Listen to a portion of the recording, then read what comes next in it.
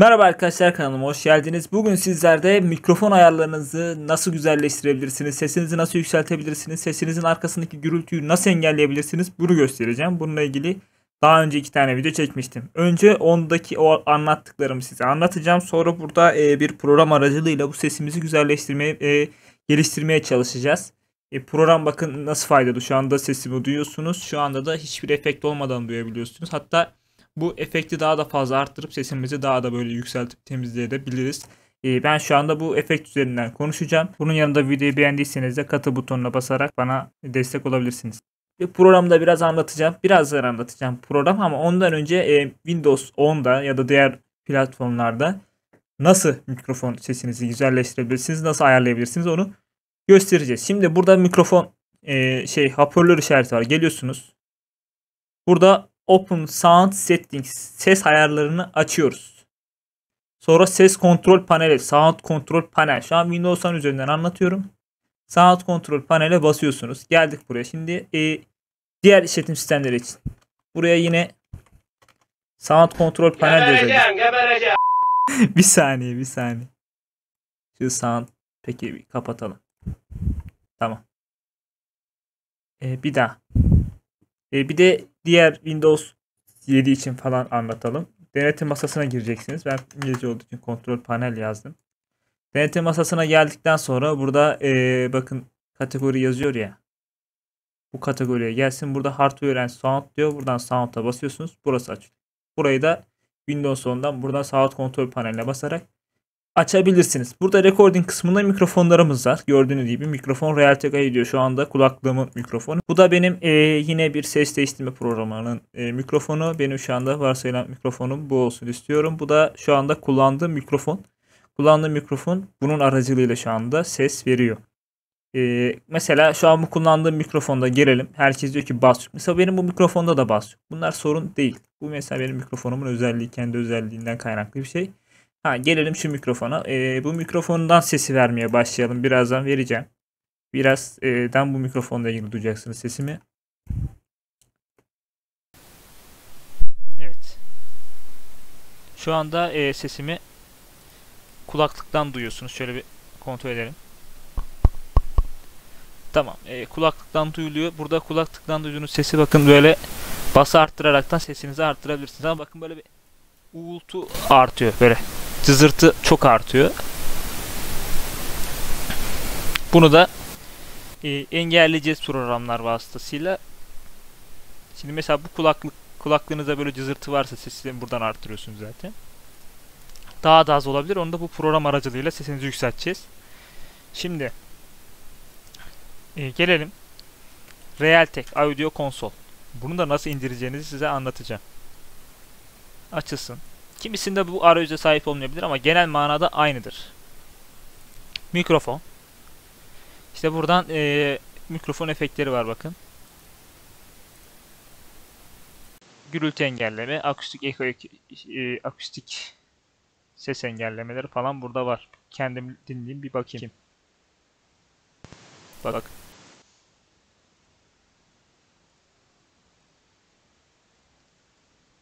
E, şu anda gördüğünüz gibi sesimin arka plan gürültülerini de azaltıyor. Şöyle artırarak daha net anlar. Bakın şu an susacağım. Gürültü var. Bunlara bastığınız zaman gürültü azalıyor. E, yarar, bayağı yararlı ama sesi biraz robotlaştırdığını düşünüyorum. E, şimdi bunu nasıl indireceğinizi diğer mikrofon geçerek anlatmaya devam edeceğim. Default mikrofon. Ayarlar, ses, Tamam. Şimdi mikrofonumuza geçtik. Şimdi bu eğer sizde o Realtek yoksa yapacağınız şeyler çok basit. Anlatmaya başlayalım. Şimdi e, bilgisayarımızın anakartını öğrenmemiz lazım. Öncelikle bunu bir sizlere gösterelim. Buraya çalıştır yazıyoruz. Ya da Windows R tuşlarına basıyoruz. Şöyle Windows R tuşuna bastığınızda burası açılacak ya da buraya çalıştır yazacaksınız. Run yazacaksınız. Ya da Windows artı R tuşu. Windows işaretini biliyorsunuz klavyede. Buraya Misinfo 32 exe yazıyoruz. Misinfo 32.exe. Bakın biraz bakın diye bekletiyorum. OK diyoruz ve burada bir e, menü açıldı gördüğünüz gibi. Burada bir sistem özeti kısmı var.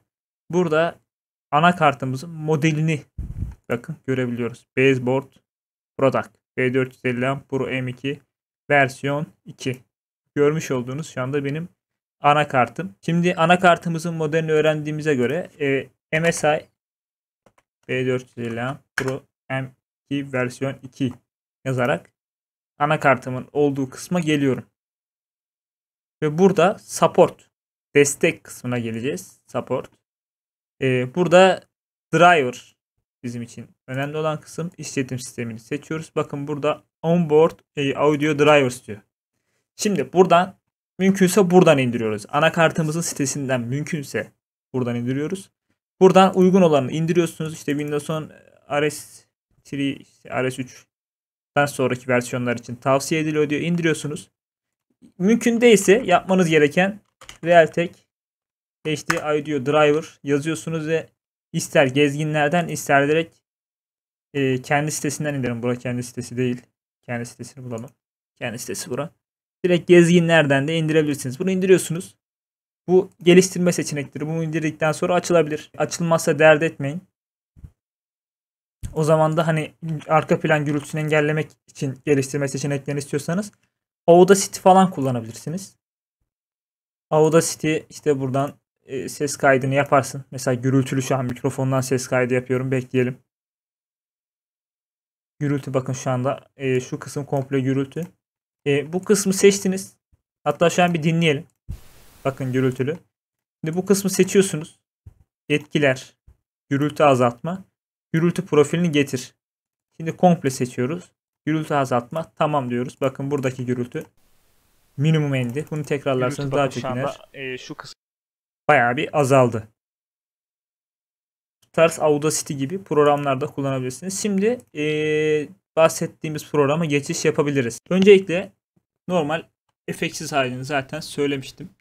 Burada kendimi duyacağım bir saniye. Siz ses çıtlıyor. Mikrofonu kapatacağım. Siz de beni bilgisayar üzerinden duymaya devam edeceksiniz.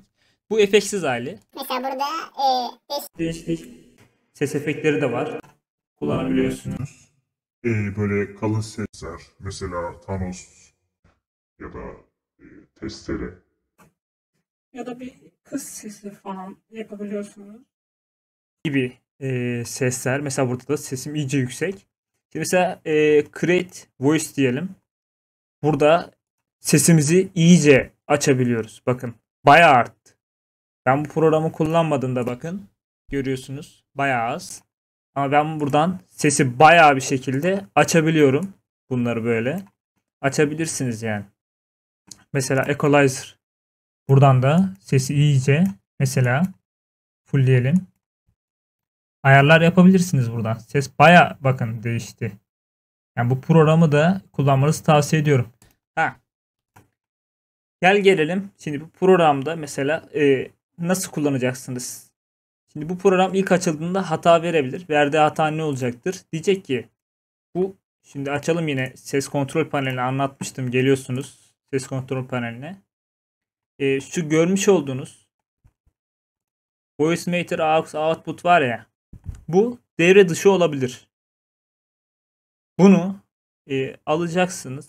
Enable diyeceksiniz. Şu disable olabilir. Disable olduğunda hata veriyor. Bunu enable deyin. Sonra isterseniz bunu default device'ınız yapın. Fark etmez. Default device yapıyorsunuz. Ondan sonra kullandığınız programlarda e, OBS'te gösterdim zaten. Bu pro- programı seçiyorsunuz. Bu kadar basit. E, kullandığınız mikrofonu da gelip programın içinden seçiyorsunuz. Programın içinden seçtikten sonra bakın e, sesim bayağı azaldı. Mikrofonda kulaklığım mikrofonda ağzıma sokmak zorunda kalıyorum. E, bunun sebep bakın burada mikrofon mod diye bu programın arka plan gürültülerini engellediği bir özellik var. Bakın kapattığımda sesin nasıl arttığını, bunun yanında gürültünün nasıl arttığını göreceksiniz. Bakın gördüğünüz gibi çok e, değişti, aşırı değişti. E, bunu bu zaten e, tavsiye ediyorum açıkçası.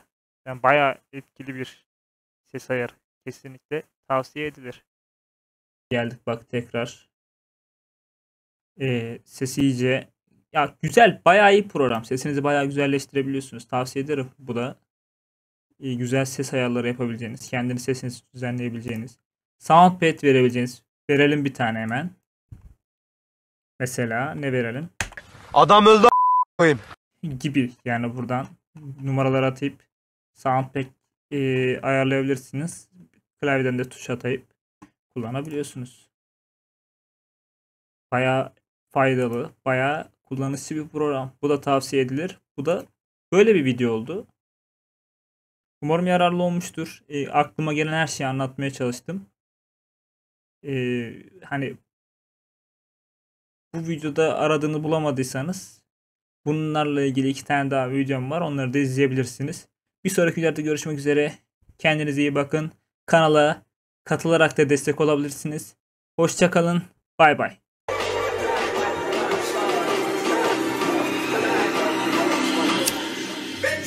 party like